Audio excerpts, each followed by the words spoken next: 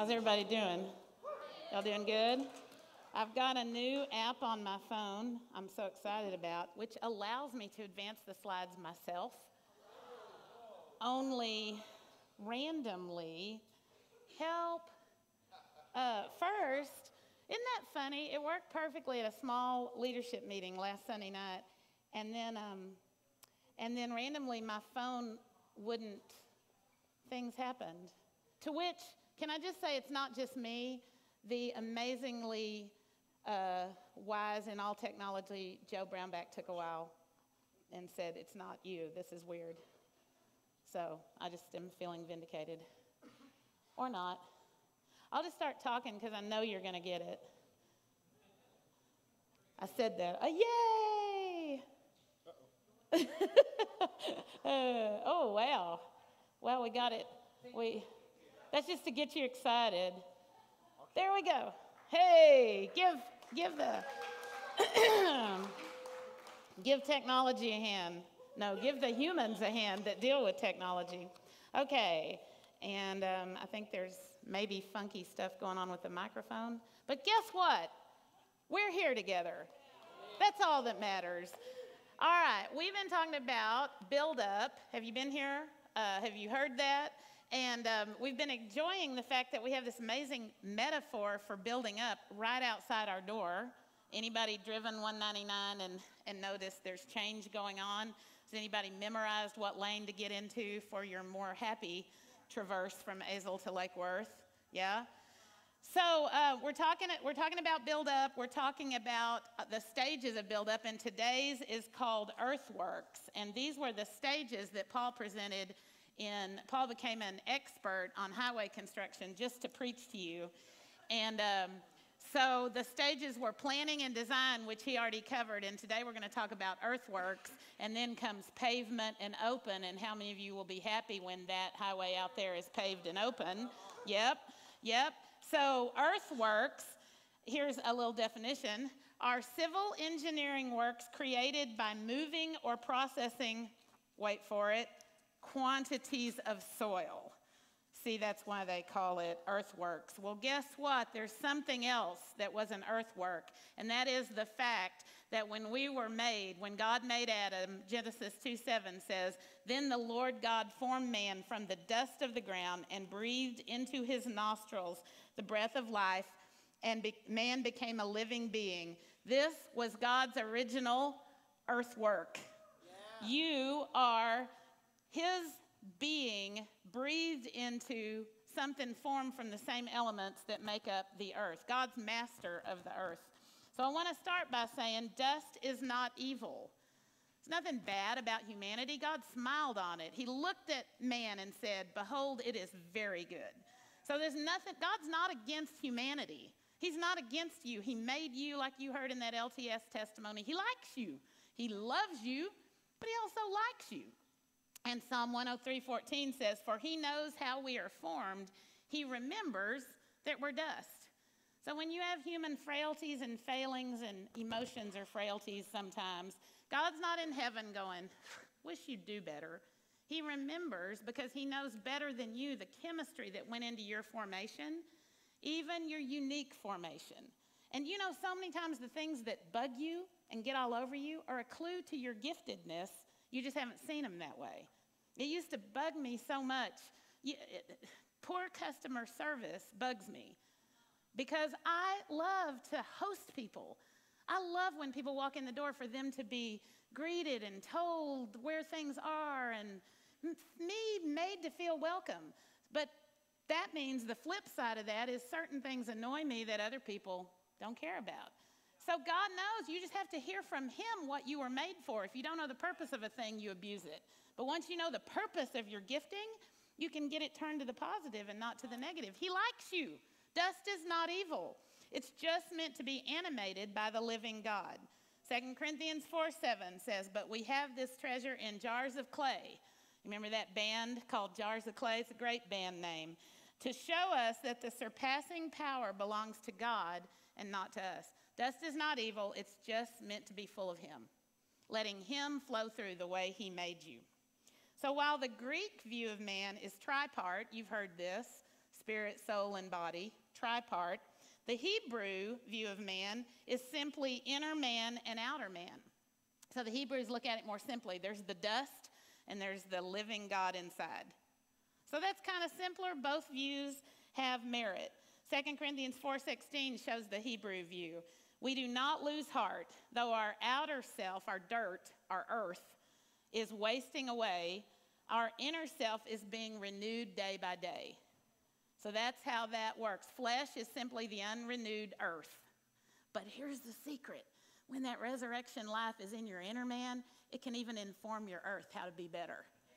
It can resurrect your outer man. That's what the Bible says. So the outer man's wasting away. In other words, it's in touch with decay and entropy out here.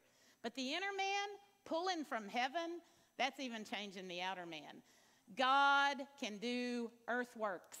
You are earth. You have some earth. But the good news today is He can handle it. He can handle it. The stuff in you is more than enough to take care of the stuff outside you connecting to the earth. Flesh, that the Bible talks about, is simply the pulls of earth on you, on the unrenewed parts of you. So we do have to be real, though, and say sometimes earth can get in the way of seeing and cooperating with God's purposes. Sometimes your flesh can get in the way. Galatians 5:17 says the flesh sets its desire against the spirit and the spirit against the flesh. So there is a pull. It's not a pull that's unconquerable. It's in fact already conquered, but there is a pull. So in us there is earth to be moved. Now this picture here is some highway somewhere. I asked Paul to get me a picture of this out here, but life is busy. And um, that didn't manifest. So I just went online and found a picture similar to the dirt out here. Will you go with me that that looks like the dirt out here? Funny thing has happened. So this church is my reference point. My life is here. My office is here. My husband is here. My kids are often here. There's stuff going on here. You're my family. I love you. I love you. So, can you understand that every day when I drive to the gym in Lake Worth, my eyes always look over to this property to see what's going on? Like I know people's cars, and I think, oh, so and so's there. Oh, who stopped in? Is Darlene there? Darlene doesn't always bring her car, so I don't ever know for sure with Darlene. But, but you know, it's like a reference point. Well, guess what? The highway department and the progress out there has messed with my reference point. When I pass now and I look left, I, Instinctively, I'm, i get right about here, I look left. Has Paul left yet to meet me for lunch? Thank you. Thank you for that laugh, my son. that kind of thing. I look left and I go, What's going on at the Abbey? Has Paul left yet? Is what's what's life like? There now is a mound of dirt. I can't see. I can't monitor. My bearings are off. And I thought yesterday when I was thinking about this message, I passed that one more time and I thought, man, that's like the kingdom. It's like you, you want kingdom things as a reference point, and God's shown you some things and you know they're there, but there just comes this mound of flesh and humanity that is obscuring your view. And when your view is obscured, you need to get it cleared. You need to get it cleared. Now, this particular pile of dirt, I found this hilarious. I don't know where this is, doesn't matter, somewhere in America where I 94 is. Anybody know I 94? I have no idea. Up north, thank you. Okay, I figured it was somewhere not near here because I hadn't heard of it. This, uh, someone wrote into a message board and they said this The huge dirt pile near I 94 has been there for a while and now there's grass growing on it, they said. And then this person asked the highway department, Is that hill going to be permanent there? And I thought, isn't that like our lives? Sometimes there's a mound of humanity, something about you, something about the past, something that's standing in your way and obscuring your view of Jesus or the kingdom or your destiny. And grass starts growing on it because it has sat there so long. And you start asking the question, Excuse me, Lord, would, would this be permanent? Has anyone ever got to that place? In the early days, you go, Yeah, my destiny. I'm going to take over the world for Jesus. I'm going to be the most awesome fill in the blank there ever was for him. And then some stuff in your human nature or relationships or finances, I don't know where your earth is, but whatever that mound is, sits there. So at first, you speak to the mountain and tell it to go, and you're all like, Yeah, that's got to go. But things wear on and it doesn't leave, and grass grows. And there comes a place in your psyche where you think, wonder if this is permanent. And I want to declare to you today the Holy Spirit is able to move it. He's able to reclaim your view of the kingdom, not just out there, but for you. For you, the kingdom of God for you. You don't have to go be a missionary or a major evangelist. It's about you being the best you you can be. That's the kingdom. The best you that He created you to be, that's the kingdom. So, if your view is obscured right now, I want to tell you there is hope. Here's a couple of scriptures that talk about that hope. Jeremiah 1:10. This is just convincing us that God is a master of earthwork. Jeremiah 1:10, the work of the messenger of God is this. He says, "See, I have set you this day over nations and over kingdoms to pluck up and break down, to destroy and overthrow, to build and to plant." Do you realize there's twice as much destruction, earthwork, as there is build and plant? Just an interesting thought there. God can handle it. God can handle you and me. Isaiah 40, verse 4, is the preparation for a Savior. Every valley will be raised up, every mountain and hill will be lowered. Steep places will be made level, rough places made smooth. Your humanity is not evil, but sometimes it obscures your view of the kingdom. And if that's the case, you're a candidate for earthwork. Good news the Holy Spirit specializes it. There's a thing called an earth mover, and evidently there are colossal ones, evidently. And an earth mover is a machine such as a bulldozer for excavating, pushing, or transporting large quantities of earth, as in road building. And I found it interesting that the first known use of that word earth mover was 1879. So I'm guessing that was a steam powered one, right? I don't know. But ever since there's been progress, there's been man going, how are we going to move vast quantities of earth? So today, will you go there with me deeper for this being a metaphor for God's work in you? Because I don't know about you, I love it being transformed. Everybody says change is hard and everybody doesn't like change. But when you remember that the changing is a transformation into what you were created to be, it makes it so desirable. I like change. I like change. I may not like the discomfort in the moment of letting go of an old way, but if you really get a vision that you are being gloriously transformed, that's the purpose of the glory of God is to transform you. So there are these earth movers. So if they're existent in the natural, I bet you God can pull off something even more amazing in the spirit. And sometimes you have to move a lot of dirt, don't you? Sometimes there's a whole army of earth movers. And you know, all of us need some dirt moved. Again, God smiles on your humanity, He likes you. The deal is, however, if it is blocking something in your destiny, it's time to take action. It's time to move along. It's time for change. Amen? Okay, it's worth it. Is your dirt keeping you from your destiny. The Holy Spirit is the great accomplisher of earthwork. Now, let's get a little, obviously, that girl is happy and free, right? Because there's nothing hindering. And in your heart, you need to know, even if you have problems currently, even if there are hindrances currently, you and your destiny have a clear path between them. The road to your destiny, the road to the thing God purposed for you, and He has one for every individual in this place and everywhere. That road is clear in Him. So, whatever's standing in the way, we want some earthwork. So, we need to get specific because you're probably mostly, are you, are you mostly on board right now? Mostly? You mostly want the earthwork? You're okay with that, right? It's for progress. Okay. So, specifically, what earthwork what actually needs work? What is the actual earth? Well, I sold you the end product, glorious transformation, so that this part would go down easier.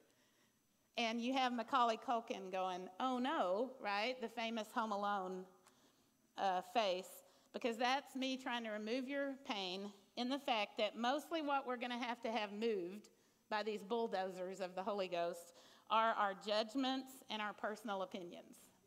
Again, God wants you to be you, and it's totally fine that you have personal opinions. Like you'd be boring. It wouldn't it be boring if we were all the same? Wouldn't it be boring if we all agreed? I mean, we're all being conformed to the image of Christ, but that image of Christ is vastly diverse. You being in the image of Christ can adore jazz, while somebody else being in the image of Christ can only like classical. I mean, these opinions and preferences are part of what's wired into us and part of the glorious diversity of our Father. However, when they impede our progress, let's take that music preference thing. If God wants you to open up and be a minister to all forms of musicians, and you keep dissing one form, that personal opinion just hindered that. Am I right? Here, let's bring this home even more closely. Have you ever, who, you don't need to raise your hands, although my hand goes up. I'm just wanting to volunteer myself. Is this before you have kids and you're in the grocery store and you are in the checkout and somebody's kid is screaming? Anybody? A few people are nodding. Before you have kids, it's real easy to have an opinion about what you would do if that were your kid. Am I talking to anybody? Am I talking to anybody? And then that first time you're the one in the grocery store and it's your kid screaming, there is a lot of earthwork going on inside you. At least if you're me, because I just sit there remembering how many times I thought, bless that mother's heart. I wish they knew what I know that you need to discipline your kids. And then you are tasked with that job and you're going, I repent on every level. I repent. Um, I work out, and there was a time in my life that keeping myself trim was a little easier than it is now. And I didn't realize I had judgments about people who didn't work out until I looked the way I currently look, which I know is different. In other words, all I'm saying is opinions are opinions. They're not harmful until the Holy Spirit gets on that and you realize I am judging. Because here's the deal we're going to get into it deeper in a minute. There's only one system of judgment, and if you're doing it there, it's coming right back on you. I had a subtle judgment of, well, I'm not better than people that don't work out. But subtly, I thought, I'll never. and now I am middle aged. you can laugh with me about this. It's funny. It's very funny. And so I'm walking into 24 Hours Fitness going, yeah, I feel that's my judgment. Do you understand? I'm not walking into anybody else's judgment of me. I'm walking to one I've tolerated for a few years. And now it's on me. Why? Because when you judge that way, the way the thing works is it comes right back on you. It's, it's, it just is. But that's still good news, y'all. This is going to be good news. You're, you're going to, do you need to do this for a minute? Do you need to go, oh no? If that helps, do it. Anybody? No? You're all right? Okay. All right. You sing good. So Jesus said, Judge not so that you won't be judged. For in the same way, here's what I just said in the same way you judge others, you will be judged. He doesn't mean by you necessarily, I mean by him necessarily. He means you just picked it, so that's what you're dancing with. You will dance with the one that brung you. So, in the same way you judge that mom with a crying baby, you just picked that system for yourself down the road. Hallelujah. Isn't that great? Uh, and with the same measure you use, it will be measured to you. Again, he's not saying from heaven. I don't see that. I see a sowing and reaping right here on earth. We could say, don't enter into a system of judgment because the system you choose is the one you'll live by. And even he can't stop you from that if you choose it. He don't want you to judge because he don't want you to be judged because he doesn't look at people in that kind of judgment. All the judgment went on Jesus at the cross. But if you choose it, you are temporarily dancing with it until you choose to do differently. You get to do differently. That's earth work. So the power of perception is that the view we incubate determines our participation and therefore feeds back into our identity. I can't go as deep on this slide, but there'll be other messages that, that I can go deeper on. But just believe me, it's a feedback loop. Yeah. How I see myself feeds into how I behave, which feeds into how people treat me, and back into my identity. You see that it's a system of judgment that God, He ordained me to choose how I think. So He tries to interrupt that, but when I'm in it, I'm in it. So, do you see that this might be the root of some issues in our lives? Um, this is the truth of the children of Israel. If you remember in the book of Numbers, I think it's 13, verse 33, they the spies that were sent into the promised land said of the giants that were in the land, they said, We were like grasshoppers in their sight and uh, in our sight, and so were we in their sight. So what they said is, we were in a system where we looked like losers and they looked like powerful, and we couldn't break out of that system. And that's what happens. If how you view yourself is what you feed out, even unconsciously, and other people will feed it back to you. Then you go, I have evidence. I, I, have evidence I'm a loser. No, you don't. You have a system you chose to participate in, and you worked the system and generated results that corroborated your belief. Right. That's how powerful you are. But you can change. So let's go a little deeper into that. Isn't this fun? It's going to get more fun. Let's say, we're going to do a little exercise. Let's say that this, this gloriously but pixelated view, pretend it's not very pixelated, pretend this is HD. Let's say that this is the spiritual landscape promised to you. So I don't know how many of you have ever gotten, like maybe in worship, you get lost in the presence of God and you just have that moment where you go, it really is all good. Anybody had that moment? You go, yeah, God has a destiny for me. He likes me. Whatever's wrong with me, He's able to handle it. Clear landscape, right? But life happens and something, a thought gets introduced into our minds. Well, there is that promise in the scripture. There is the good God. But in fact, there's this about me. Now, sometimes you are innocently handed this judgment from somebody else who's in the system. Yeah? Somebody who's living in a system of judging you, and the worst are Christian systems, will hand you a criticism and say, Well, yeah, but you don't pray enough. You don't know the Bible. You, whatever. I'm, I'm hitting and missing because you each have your own. Maybe it's not even about Christianity. Maybe it's like somebody when you were little said, Well, you just don't have that gift. Well, if you buy it and meditate on it, if you choose it, what does that just do to that view of that landscape, right? And then what happens is when you get in the system, more things pile up, don't they? Because if you believe, if you start believing, well, God's promise is true, but the list gets longer, doesn't it? And in a little while, when you've accepted a few judgments, you've entered into the system of judgment. If I show you that, you're not anymore looking at the clouds and the grass, are you? You're looking at the judgments that have piled up right in front of your face. Notice they're closer to your face than the destiny that God's showing you down the road. Jesus talked about that speck in your eye and the beam in somebody else's, the speck in somebody else's, rather, and the beam in your eye. I fully believe he's talking about judgment. Yeah. You know, a speck is a beam in the distance, a beam is that judgment right up in front of your face. But the good news is here's, here it is again. I chose those judgments. I chose that system. I chose it. That means I can unchoose it. True. They're not permanent. That mound of dirt growing grass is not permanent. Yeah. The power to choose what I think about, what I accept as true, cannot be taken from me. So I chose to judge and I didn't know when I judged that person, it came straight back on me. There's only one judgment, it's two edged, but I can unchoose it. That's good news. It's my choice. It's not God's choice. It's not the devil's choice. It's my choice. Now, judgments, I think this is funny. Judgments are like predictive texting. When predictive texting came out, I was doing youth at the time. Um, Joe and many of our younger group was in the youth group and I was fascinated with predictive texting. And I had this thing I would do I would be texting my kids, and it would spell it wrong and say some outlandish thing like, we're having um, bourbon for dinner. You know, something I didn't text. You, you get me. Like I'd be saying, we're having chicken, and it would come out as giraffe or something. And I would just send it because I thought they were entertaining. And, so I just thought no one cared what we are having for dinner anyway, so I might as well make them laugh and make them wonder. I like to keep my kids guessing, so I just sent all these weird texts. But I have, uh, I have heard of some that were more dire than that, right?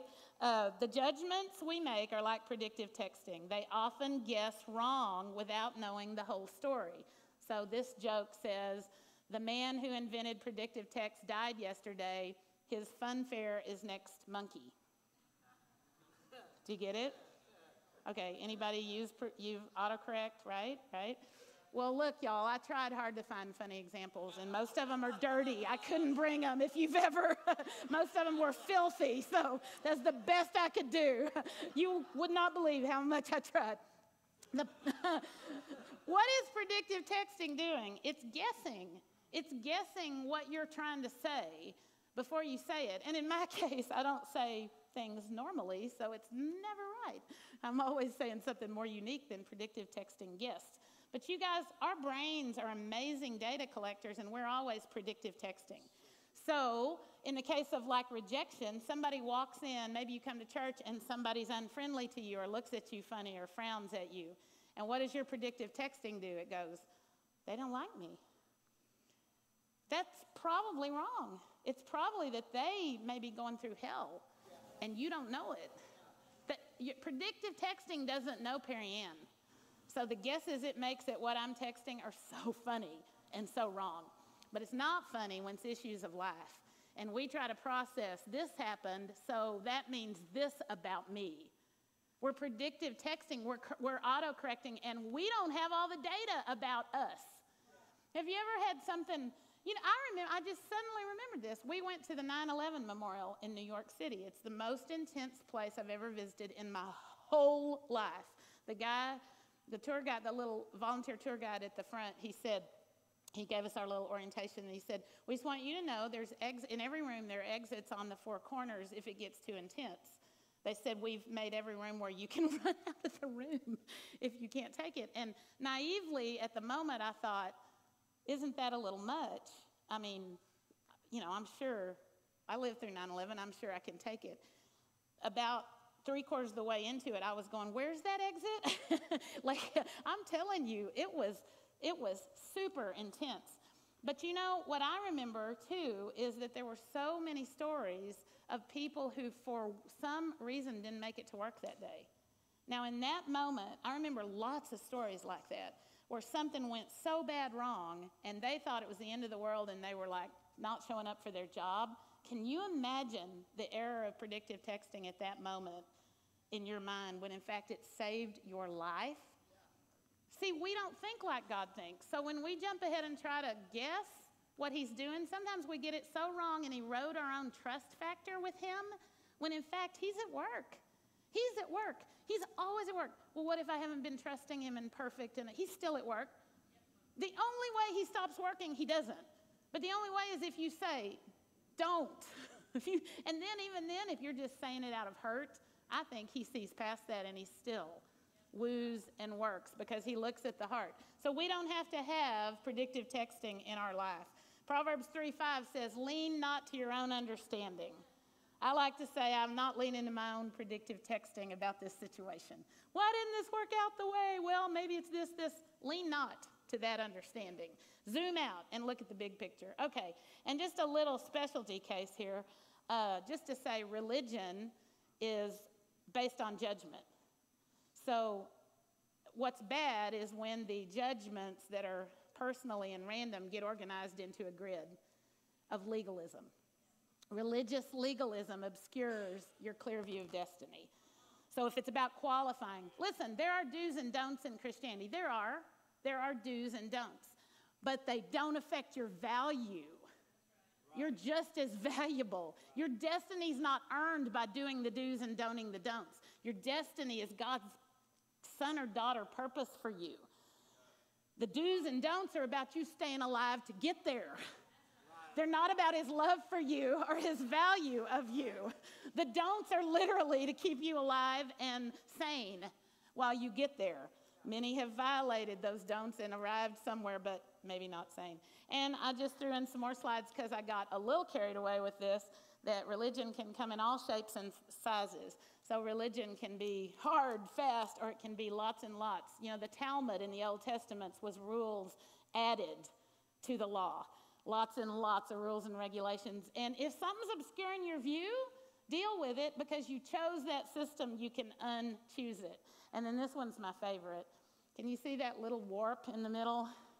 I just love that because here's what I've noticed about religion. I'm a student of culture. I'm a student of spiritual culture. I've been doing this research 30 years. What I've noticed about the people that have this perfecty, perfecty grid is they ain't as perfect as they claim to be. you know what I mean? When you get around them, they got wavy lines in the middle like the rest of humanity. They just keep talking about the grid. So I believe we can live free of judgment and we don't need religion to help us. Judgment, in this case, a grid of do's and don'ts. Religion can be let go of and you can get back into reality just like you can personally. So, but in the little bit of time we have left, are you enjoying this? You feel your faith to let go of personal opinions? Yeah. I always laugh because when people go, is this okay? I always think, I don't know why preachers ask that because they're going to do it anyway, including me. I'm going to do it anyway. But it is great when, it's, when we're having fun together. So, this is just a little Greek word study that will wind it down with this. Okay, go with me here into words. The Bible word for God's glory, and you do know that God's glory is meant to be revealed in us. Romans 8:18 says, "I consider that our present sufferings are not worth comparing with the glory that's about to be revealed in us, in us, through us, but in us too. So, glory is what He has for you. It's you being you and shining. Glory is just shining for Him. The Bible word for that is doxa. You probably, lots of you heard that before. That's the Greek word. The root word of doxa is this word, dokeo, which means to appear or seem to be, or it means a personal opinion or subjective judgment. So, one meaning of this root word of glory is actually opinion. Glory is God's opinion. Isn't that interesting? So, for the classic rockers in the building, no matter what age you are, Pete Townshend would have been right if he'd written the song from the rock opera Tommy to the right Messiah. Because he, what he wrote is, From you I get opinions, on you I see the glory. That's true of Jesus, isn't it? What about getting your opinions from his glory? That's a good place to get your opinions. Okay, you go with me there. Then here's what's interesting dokeo, which is that root word that can mean opinion, is also the root word for another word that means a judgment. It means a decree or a negative judgment. And we see that word in Colossians 2:14 where it declares the handwriting of judgments that are against us was nailed to the cross and done away with. So, dokeo, this word for opinion, is also the root when it's saying all the bad opinions attached to you were done away with. The blood of Jesus ran all over it, they were nailed to the cross. Yeah. Isn't that amazing? So, that Greek word, not surprisingly, is the word dogma. And dogma is a word we widely use to represent legalism the dogma that was chaining you up. You know, somebody might come and say, Here are all the commandments you've broken. They'd read the dogma of judgments against you. And you know what Jesus' response is? That's exactly why I died, to free that person from the guilt in that case. So here's a little diagram to make it simple. Dokeo, we think of it as our ability to perceive and judge, our ability to predictive text, if you will. It can either be dogma a limiting judgment, or it can be doxa, a glorious God opinion. Your ability to perceive, to have an identity, to judge others, to look at others, can either be a dogma, well, they didn't perform, that baby's crying, or it can be a doxa. Oh, I'd love to go over and hug that mother right now because I've been there when that baby's crying in the checkout. Right? That's doxa. Doxa smiles on us. Doxa lifts us higher. Doxa shows us where we were meant to shine, while dogma is what he died to free us from, limiting judgments of who we are. Guys, we have evidence. Are you human? If we're honest, we all have evidence for what's wrong with us. We all do. But Jesus is never letting that limit who we are destined to become. Never. Okay, so obviously, what we want is this, don't we? We want to move from our personal dogma, our limiting judgments, to doxa, to glorious God opinion of who He is, who we are in His image, and who each other is. Everything changes when you see people the glorious way He intended for them to be. And so that is where we need this, right? That's where the earth is. The earth is in our opinions and our personal judgments, and the Holy Spirit wants to work to change us, to let us let those shift into glory. So, the take home of this message is simply let the Holy Spirit help you rescue your perceptive abilities from negative judgments. It's not just you, it's your that inner imagination, that inner identity spot in you, that seed of existence really in you has been captured by negative judgments about yourself, about others, and even about God. It may take some real earthwork. What, what does that involve? Time? Is this taking time out here? I mean, anybody think the highway is taking time? Thank you. I do too. It may take some inconvenience. It, you have to leave a little earlier to get to Lake Worth these days than you do before they started this. But won't the highway created be worth it? Yeah. You guys, this is where so many Christians bog down. They, they get started, but somewhere between the start and the completion of a process of God, they get discouraged. And I want to give you hope today that there are real things you can do to cooperate with the Holy Spirit to finish your course and actually have that day come when you can drive on that highway. Remember, highways are for the rapid transport of people and goods. They're to make life easier in the end. In, in our case, in the spiritual world and the way we're talking about build up, it's not just a highway to heaven. No, no, no, no. It's a highway for heaven. Because heaven has some things to send to us now in this life. John 10 10.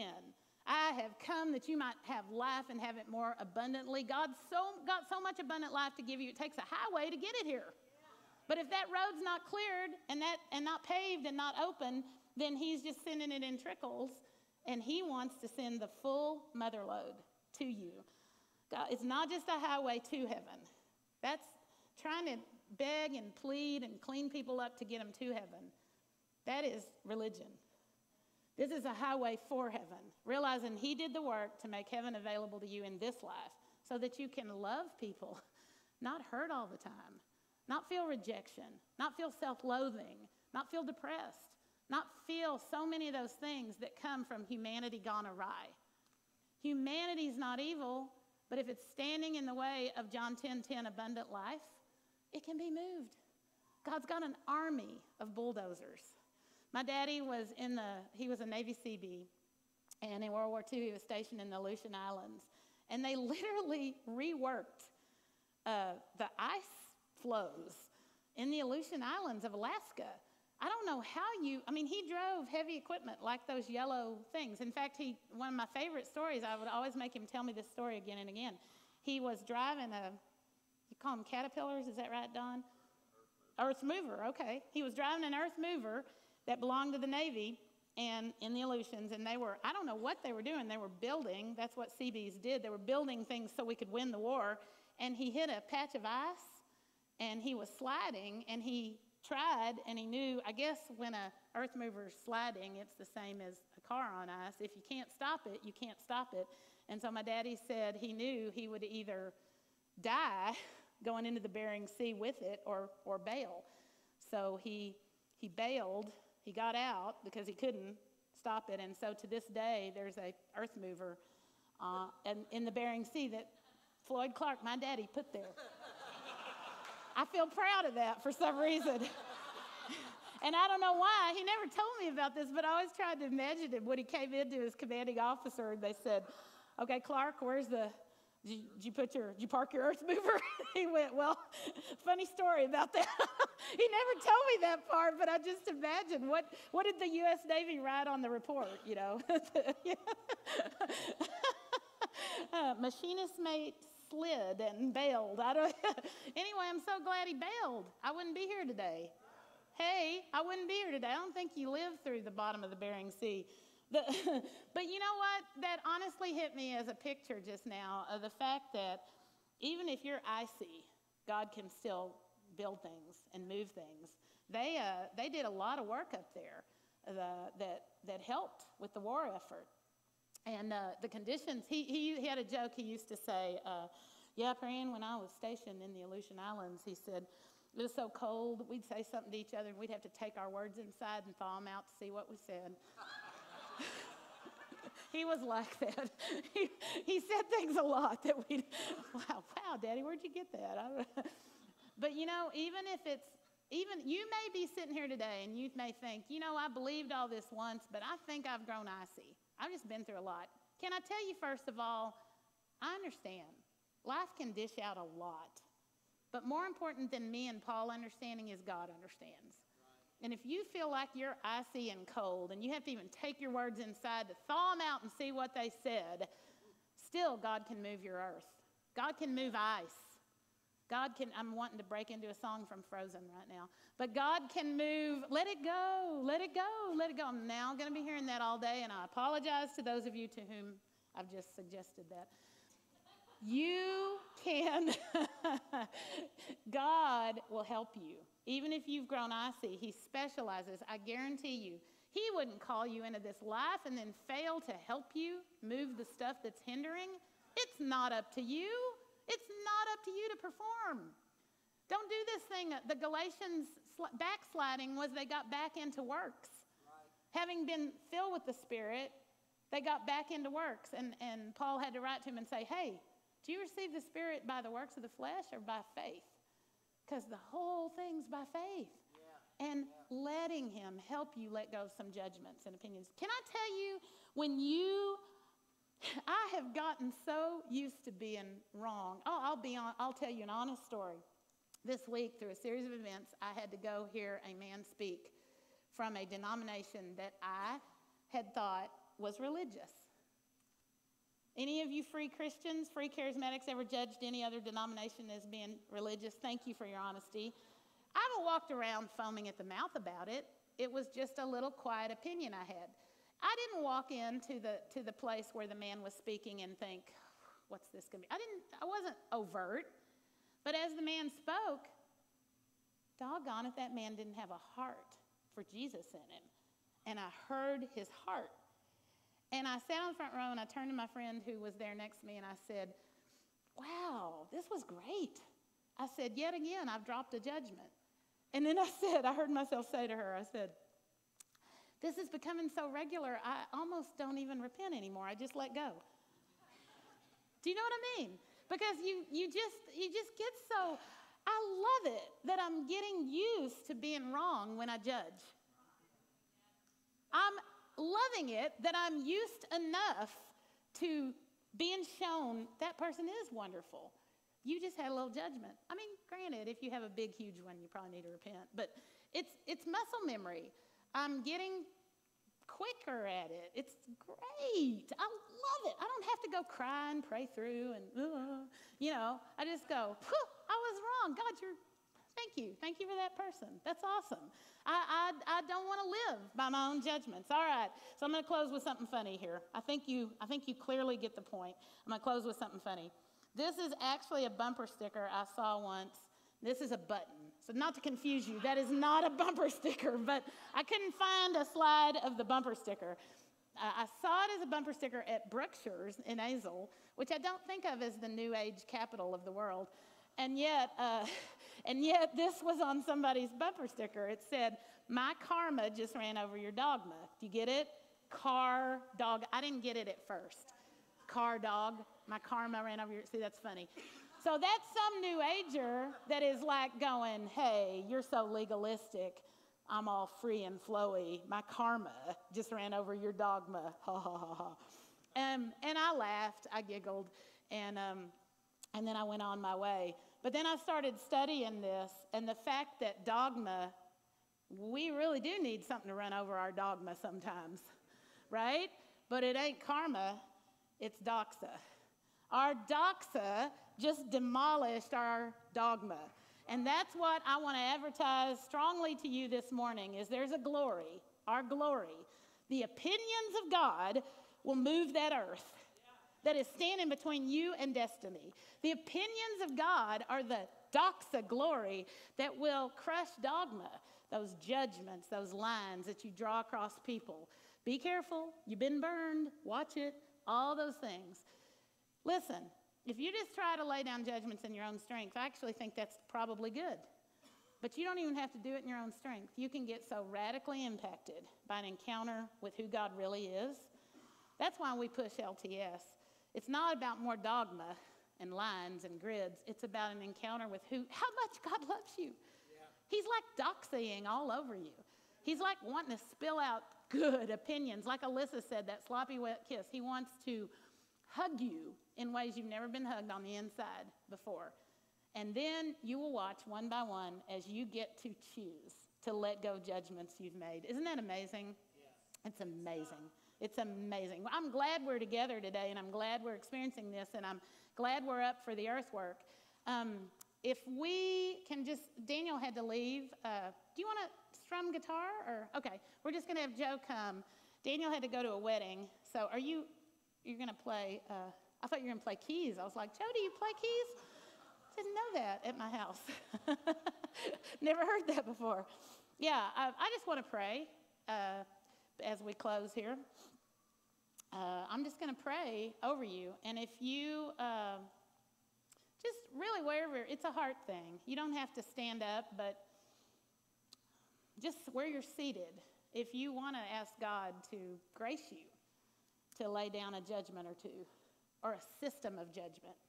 If you really feel like you've been in a system of judgment, then at the end, uh, we'll have glory team members, people that just will pray with you down here. If you really want help beyond this prayer, because if you've been in a system of it, you can get caught in that. And sometimes it takes an input of somebody else's doxa faith to get out of that system. But more than that, I just think today it's really just about telling the Lord we are open to laying down some judgments. And really, once you tune in, it's he'll speak to you. He'll walk with you. He'll work with you. Beware because the judgments you have about other people usually do have an edge back at yourself.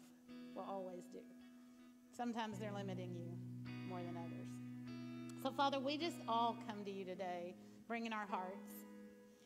We just come to you. We first of all, repent of judging you. If there's any area in our life where we have started to wonder if you actually want good for us, Lord, we recognize right now we don't want to think that, and we choose to let go of that black bar hindering our view of you. And Father, if there are judgments we have about others and so much judgments about ourselves, Lord, we just want to lay those on the altar right now. We made those judgments, so we can choose to get rid of those judgments. The power is ours. I feel like for some of you, I just had a picture in my spirit of those black bars having a word on them. So for some of you, just be sensitive if the Holy Spirit's showing you what that particular judgment looks like in you. It might not be what you think. You know, we only think we know ourselves. the Holy Spirit really knows. So just uh, we just pause for a minute in your presence and let you help us, Lord. And Lord, I just declare almost like a, a whole spine chiropractic adjustment back to John 10:10 10, 10 today. It's the thief that comes to steal, kill, and destroy, but it's you that comes that we might have life and have it in overflowing measure. So, Lord, we receive your life. We receive your doxa. And we commit to the earthwork. We thank you that your doxa completely destroys and demolishes our dogma. For those that have been on the journey of a while and feel weary and feel like there's grass growing on my dirt, Father, right now, would you encourage them? This too shall pass. There is an end in sight. This dirt is not my story. This dirt is not my view. I will get there. There will be a glorious day, the roads open, and highways of goods, transport from heaven, will pass upon it. My situation of dirt is not permanent. Father, I pray that by your Spirit you would completely just seal this work in people's hearts. And, and even this week, I, I pray that you would work with them and need them, knead this like bread, like, like yeast in bread into their lives. That you would become so real to them that your love would just be unquestionable. And Father, we just receive that right now in the name of Jesus. And we thank you. Thank you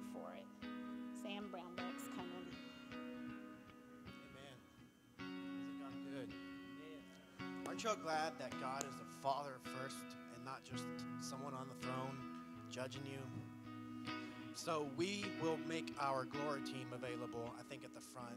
I just want to encourage you, come get some prayer if you need anything. Just if there's perceptions in your mind that you need to, judgments that you need blocked out, we just want to pray with you for the week and just pray for some suddenlies. Um, just a couple of reminders before we leave. LTS, make sure and get registered. Uh, o2network.org slash events. Um, next week is Father's Day, so make sure and invite your fathers. Um, and then if you're a first-time guest with us, our vision team would like to give you a gift. Just shake your hand and meet you. So they're going to be in the dining room to my left and your right. Um, make sure and come by and say hi. With that, thank you for coming to the Abbey. You're blessed. Amen.